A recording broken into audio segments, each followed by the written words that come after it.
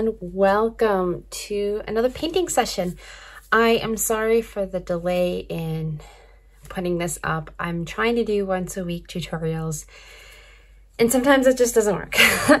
um, I recorded this one actually a while back and I couldn't, I couldn't get it edited. It's, we've been putting a new floor in the house, which is really exciting, getting the garden and, and yard ready for winter and it's been busy. So um, I'm sure you guys know as well, just the craziness that comes with changing the seasons. Anyway, what we're going to be working on today is this design. Um, we'll do three pumpkins and then thankful. The reason I'm redoing this too is actually a little bit of pride. And that's because I tried to do this lettering with my, my number six round brush and it just didn't, it, it, it was I don't love it. Um, so we are going to do, you could use this for a greeting card. I think that's what I ended up. No, I didn't. Um, you could frame it however you want. Postcard. So let's get started. I'm just going to set this off to the side. And the colors we're using today are from my Autumn palette, which is over at the Maple Sapling Studio. These are all Earth Pigment watercolors. Here we have an orange ochre, a yellow ochre, and a burnt umber. And then we also have an indigo blue, which is um, from the indigo plant, which is pretty cool. Uh, and so the indigo and the yellow ochre are what we'll be using for the green. So let's just get started right away. You might have guessed it. Yes, I'm going to be using my number six round today. So get some clean water on it and get to work with our orange ochre. And the first thing I'm gonna do, I've got a little mark in the paper, so I'm gonna make sure my pumpkin goes over that mark and kind of hides it. Just gonna draw out, sketch out a pumpkin shape. Sort of an oblongish circle. And then starting at the top middle, I'll do a little curved line. And another here. And same on the other side.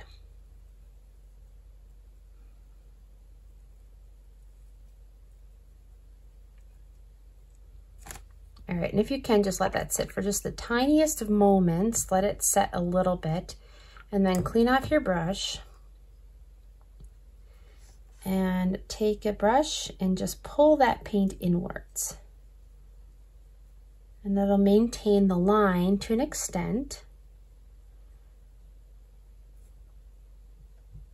There we go.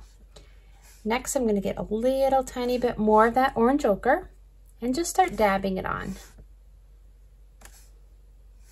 because I want this to be a very loose, like still a pumpkin shape, but like a, the pumpkin equivalent of a loose floral, if that makes sense.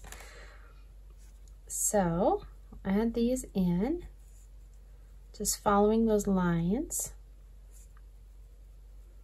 And you can pull it a little farther in if you need to.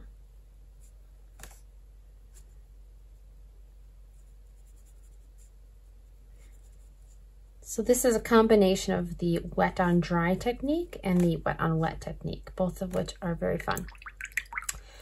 Okay, so we are cleaning off the brush again, and I'm gonna grab a little bit of this umber just to dab it at the top and bottom and give it some of that extra shading. And I apologize if you can hear like a little bit of humming in the background. That's that's the fan and that's to try to keep my baby napping while I record this video. It's like a theme of every time I make a video. All right, so I like how that's looking. If you want a little more definition on your pumpkin, I'm taking a palette knife. You could take um, a, a, pencil, a, a charcoal pen, whatever you need to do. And I'm just going to take it along and follow those same lines. And it's important that you do this while the paint is still wet or it won't do anything. All right. And once again, just add a tiny bit more of that umber, top and bottom. And then with the umber, I'm also gonna make the stem of this pumpkin. There. Next pumpkin that we'll do is going to be all umber. So we'll use the same, same technique. And you know, you can go ahead and play around with the placement. I am going to do it right here. I'm gonna make it a little smaller. Do my circle, my lines. Make sure your lines are dark enough or when you start pulling the paint, it's it's not gonna not gonna be as cool of an effect. Okay, let that sit for just a few seconds. And then take some clean water on your brush and pull it in.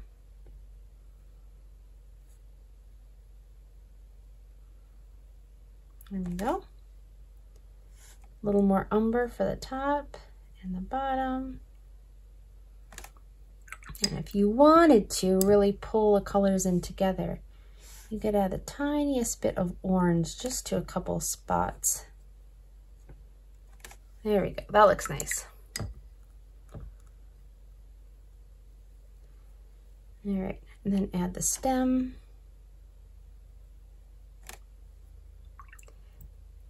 And I'm gonna let that dry a little bit. You can't see it, but there's actually quite a bit of water on this.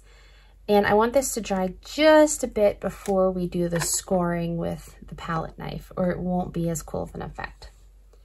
So while I'm waiting for that to dry a bit, I'm gonna take my yellow ochre and do the third pumpkin. Same exact technique. Circle, lines, And let's see if this is dry enough. There we go. I feel like this extra bit really does add to the texture of your piece. And you can tell when you're looking at it, certainly. Okay. My brush is clean. I'm going to add a little bit more of that umber top and bottom. And this is for shading, this is for contrast. Run it up and down the lines a little bit. There we go. Clean it off. And now we're ready to do this little yellow ochre. This is a little bit this can be a tricky one when you're working with a light color. It's hard to maintain that contrast. So I'm actually going to pull in that orange a little bit already. And make sure we have some good shading to work with.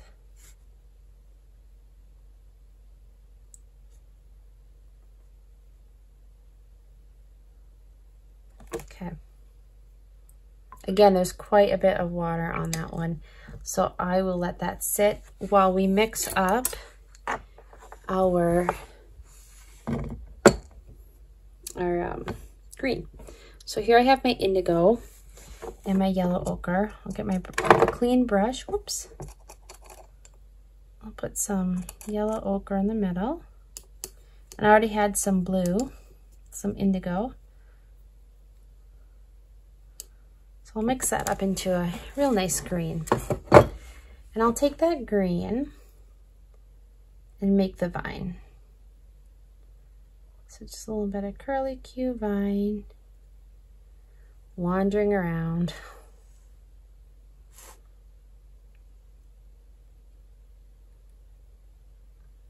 Little squiggles here.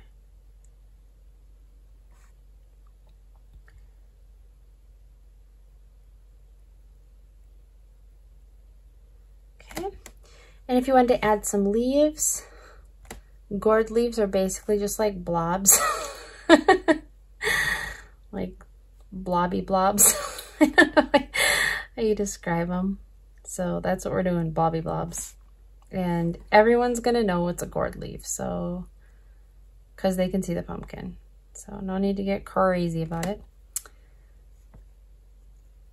And this one is actually turning out so much better than that other one that I painted. So I'm glad that this is going to be the actual tutorial.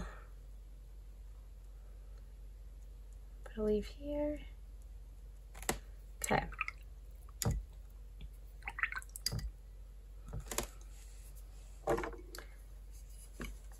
I should have said too, the paper is, oh my goodness, what is this paper? Um, let's see. It is a approximately four by five and three quarters, four and a half by five and three quarters. So it's quite small. So you could do this design bigger as well, of course. Let's get this scoring in. And I'm really gonna be marking it up a bit more on this one. I wanna get some of that ochre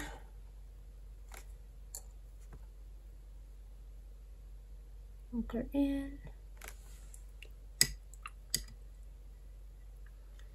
some of that burnt umber on the stem.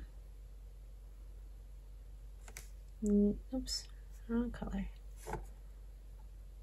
Oh, that was exciting.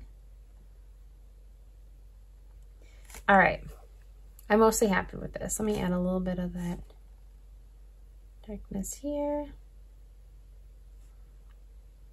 There we go.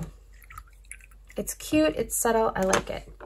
So let's take, now if you wanted to stop, scan this in, and you could just do a blank card like that. Um, I just picked up this calligraphy pen. I used to be into calligraphy and have not for years. So I will take this out and you can watch my feeble attempts at calligraphy. And I'm just going to say thankful again. Because it's nice and generic and can, oops, fit in many circumstances. I think I need to mix this up. It's very watery. One of the things I'd like to try eventually is making my own ink. I can do oils and watercolors, of course, now, but ink is next, next thing. All right. Here we go. Careful so you don't smudge the painting if it's still wet as mine is.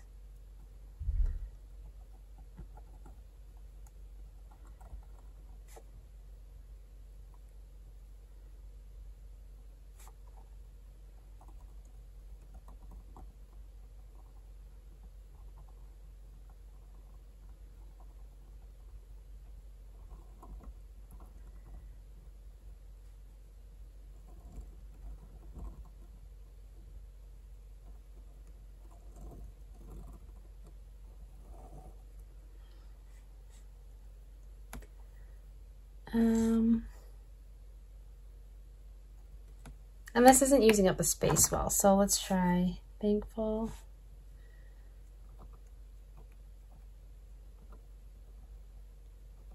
Do I look like a first grader writing? That's what I feel like. Like I'm just learning my letters and learning how to write.